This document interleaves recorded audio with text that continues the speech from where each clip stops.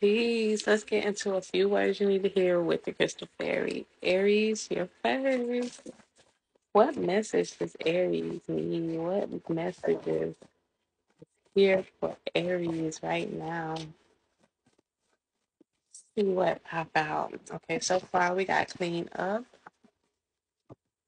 We got heart chakra, 555, energy vampire.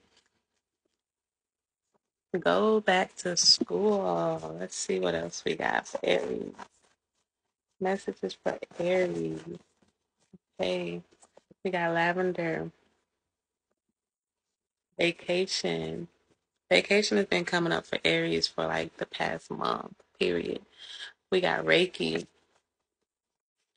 What else we got for Aries? What message do we have for Aries?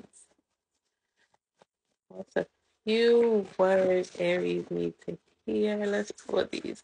Okay, we got victim mentality. We got love. Words of affirmation. Confront the issue. We're going to pull one more for Aries. Let's see. What's one more word or message that the Aries need right now? Let's see. It's going to give us something. So we got the promotion and raise card. Aries, period. And that's for you. Thank you. Love you. Peace.